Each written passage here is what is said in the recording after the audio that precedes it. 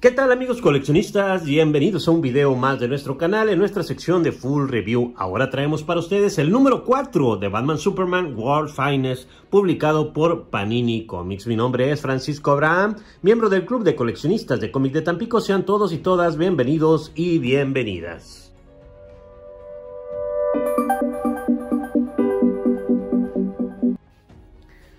Bien, pues ya llegamos al número 4 de la grapa de World Finest y pues realmente es una de las que más me ha agradado en lo que he leído de las grapas de DC Comics actuales de Panini. Damos una breve revisión en cuanto a lo que es el exterior, Batman Superman World Finest, como verán es un excelente logotipo combinado con los colores de linterna verde. Se ve genial. Tenemos el logotipo de DC Comics, el número 4, el logotipo de Batman Superman. Tenemos el logotipo de Panini Comics. No sé por qué todo lo de DC viene con el logotipo de Panini Comics enfrente. Y tenemos aquí los autores White, Mora, Bon y tenemos en la parte de abajo lo que es el subtítulo o título de esta obra. Tema en el poder, la luz de Green Lantern. Y aquí viene pues Hal Jordan, Batman y Superman. Recuerden que estas historias de esta serie de cómics son ya pasadas, son historias en cuanto a la época plata más o menos de estos personajes. Son como que historias no contadas y que ahora las traen en cuanto a la relación que tuvieron los dos personajes en varios momentos, la mayoría de ellos contados con tipo de acción y que pues pasaban varios problemas en aquel entonces y que pues no afectan a lo que es la línea regular de los cómics actual. Bien, el acabado es este acabado lisito, semimate, no es brillante, con una buena calidad, lo reconozco. Y en cuanto a lo que es la contraportada, pues igual respetando lo que es el diseño de esta serie, viene la misma imagen pero en un poco de close-up para que se vea más grande los personajes y con un tono de color eh, en general. Esto para mí me agrada mucho. Tenemos el título en la parte de esta esquina también, el de DC Comics, el logotipo de Panini Comics para mayores de 13 años y el código de barras. Este personaje de eh, Al Jordan es tan importante que pues aquí viene siendo una aparición, aunque es breve, pero sí muy molesta para Superman, ya que ahora está combinando lo que es el poder del el anillo con la magia y ya saben que eso afecta a Superman. Salió en 79 pesos como lo que es una grapa normal, que para mí es de los poquitos que se mantienen por debajo de lo que es el precio exagerado que han manejado en todas las demás ediciones o al menos en la gran mayoría porque estás pagando dos grapas por lo que es una por 79 pesos. Bien, y trae una muy buena calidad, tanto en lo que es los exteriores, como ya lo chequé, igual como los interiores que trae un papel cuché brillante muy bonito. Bueno, pues eso que ni que. Bien, trae dos números, ¿cuáles son? El demonio Nessa capítulo 4, el secreto del demonio, viene siendo el número 4 de World Finest.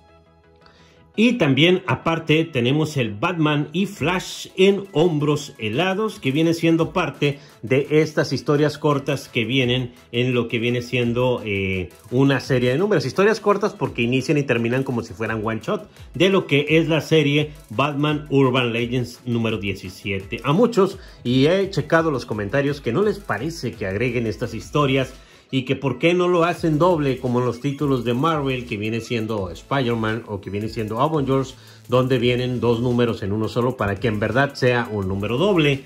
Pero pues aquí le están haciendo así. Así que va a ir poco a poco y nunca va a alcanzar a la serie pues original de Estados Unidos por irse de uno en uno Bien, y son ediciones mensuales. Aquí tenemos tema en su poder, que está hablando de lo que viene con Green Lantern. Tenemos los créditos, bueno, la sinopsis, y tenemos los créditos editoriales. Aquí está marcada la traducción. Bueno, la portada es de Dan Mora, genial arte que vamos a tener. La traducción es de Damián Montaño López, al menos en la leída que hice y el chequeo para ver si no tiene algún error o algo así. No, lo vi muy bien, entendible perfectamente. Tenemos ya el inicio donde quedó el anterior número que es enfrentar a Hal Jordan. Bien, el dibujo es genial. Hay algunos momentos muy padres, la verdad, en este cómic. Tenemos aquí la hoja doble de presentación, donde viene este, un poco movida la hoja, pero pues esa es ya parte de lo que fue el proceso de encuadernación. Bueno, pues en fin, a muchos nos tocan así números de esta manera. El capítulo 4 El secreto del demonio, ahora sí con la participación eh, de lo que es este demonio, el demonio Nesha, escrita por Mark White y tenemos que el arte es de Dan Mora con los colores de Tambra Bonvillian que hizo un excelente trabajo. Muy de la mano con el arte de Dan Mora, me agradó bastante. Y vienen más, eh, más créditos editoriales. Bien, pues la historia sigue avanzando. Ahora sí se enfrentan a este demonio. Mientras Batman está enfrentando al demonio, Superman tiene que enfrentar o detener o contener un poquito el poder de Hal Jordan. Esto me pareció muy bien. Mientras en el otro tiempo, en China, pues nos quedamos con que Supergirl y que Robin están tratando de encontrar la solución que tuvieron en aquel entonces para contener o detener o, parar ¿sí? a lo que es este gran demonio. Y aquí pues no se ve qué es lo que le cuentan, simplemente se ve que hay algo que tienen que hacer y que pues al parecer no es una buena idea, pero es lo único que pueden hacer para detenerlo. Así que no se los spoileo, pero pues poco a poco van descubriendo de qué se trata. Bueno, las peleas son sublimes, lo que son las viñetas están geniales. La verdad muy bien, es la primera aparición después de que unen el poder de Batman con Superman junto con lo que es el anillo de Green Lantern para enfrentar al demonio Nesha y se forma lo que es este personaje que viene siendo el Superman Batman, este que está aquí.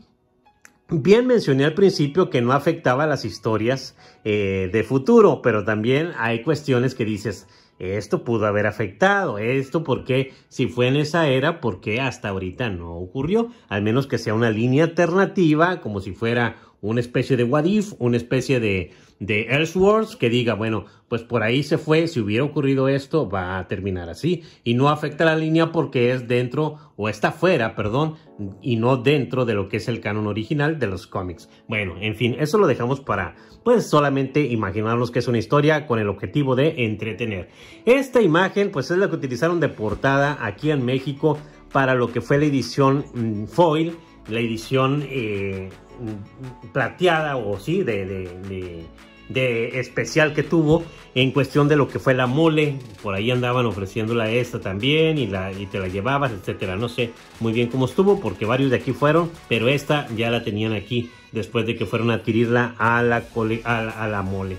Bien, ya nos vamos a brincar a lo que es el segundo título, ya que no vamos a spoilear qué es lo que más va a pasar. Y pues empieza esta historia de hombros helados. La verdad está bien, está muy muy divertida, también tiene sus momentos interesantes y la relación entre Batman y Flash, créanme que se siente muy muy sincera. Esto me agradó, aunque pues es una historia solamente de un número. ¿Quiénes son los artistas? Bien, pues viene siendo lo que es Ryan Cadillon, eh, es el escritor. Tenemos a Gleb Melkinov, o Melnikov, perdón, Melnikov con las tintas y con los lápices, que hizo un, un trabajo, tiene un trabajo de tinte muy espectacular, muy exagerado, pero queda muy bien en lo que es la historia. Y las tintas son de Scott Hanna con los colores de Luis Guerrero, que también hicieron un muy buen trabajo. Es una historia simple y sencilla, donde se combinan pues los dos fríos este, los dos enemigos, uno de Batman y uno de, Flash, y también la relación entre estos dos personajes, junto con lo que es esto que están tratando de, de tener, pues hace que los comentarios, los globos y todo lo que aquí aparezca, aparezcan muy frescos. La verdad se siente muy bien lo que es esta historia, para lo cual pues agradezco que la hayan metido. Yo sí lo agradezco, porque son historias que nunca las vas a ver aquí en México porque es un título de otro cómic que tiene que ver con las aventuras de Batman, pero que muy muy difícil puedas tener el título en un tomo recopilatorio o incluso en una grapa. Y por eso pues al menos agradezco que la metan como segunda historia, algunas sí son muy buenas, hay otras que pues no tanto. Bien, el dibujo está sensacional, está muy bien también lo que es la trama bien contada. Yo la sentí muy rápida, yo siento que es por Flash, ¿no? Muy rápida en cuanto a lo que tiene que ver con esta historia de la unión de estos dos personajes, haciendo que pues termine con un final pues bien recibido, simple y sencillo. Bien, tenemos aquí ya los plus, que viene siendo esta portada variante de Riley y Rosmo, que viene siendo la de este mismo cómic, el World Finals número 4. Después tenemos esta más, que viene siendo la de eh, Catwoman. Aquí la tenemos. Pero esta es de Derrick Chu, también. Bueno, muy digital, se ve. Tenemos esta también. Aquí no se alcanza a distinguir muy bien. Freddy Williams, que tenemos también a los dos personajes. Bueno, a muy su estilo, como verán, pues se ve bien un Batman ahí muy noventero, con también un Superman noventero, con el cabello largo después de el regreso de su muerte. Y un Batman con, ya saben, la exageración en cuanto a los hombros, con estos picos, se ve genial. Y tenemos también esta más, que viene siendo de Gleb Melnikov, también el mismo artista. También se ve muy bien, bueno, de todas, esta es la que más me agradó a mí tenemos ya el anuncio de Joe Barbarian. bueno, no sé ni qué decir ya, pero pues ya ha salido en grapas por parte de Smash. También salió en lo que es el pastadura y creo que también salió en TPB. Y pues ahora lo anuncian con un precio altísimo, lamentablemente. Es una excelente obra, yo siempre la recomiendo, pero está canijo, ¿no? Complicado porque viene muy caro. Bien, pues eh, me gustó esta grapa, continúa la colección ya en el número 4, ahí vamos avanzando poco a poco. Realmente me gustó ver uno de los personajes que son de mis favoritos de DC Comics en cuestión de lo que tiene que ver el heroísmo, que es Hal Jordan, el linterna verde, por así decirlo, original de DC Comics, porque pues ya saben que antes estuvo, eh, eh, se me fue el nombre, bueno, pero este Hal Jordan siempre ha sido uno de mis favoritos, o el mi favorito en linterna verde. Eh, ya saben que hay muchos que siempre dicen que pues no se compara con el, sí, con lo que ha pasado a lo largo de su vida comiqueril, o sea, el personaje que ha tenido tantos cambios, eh, con todo lo que pues ya viene actualmente de él. Sin embargo, me, agradezco yo que lo hayan incluido en esta serie y así van a estar incluyendo algunos otros personajes dentro de lo que es el War. Bien, pues gracias por estar aquí. Espero les haya agradado lo que es la revisión de este tomo, de este número 4. Espero sus sugerencias, sus propuestas. Ya saben que estamos reseñando al menos la mayoría de lo que sale en cuanto a manga, en cuanto a cómics, etcétera. Gracias por su presencia. Les recuerdo que la ficción está en nuestras manos y desde Tampico, Tamaulipas, México, les mando unos abrazos poderosos.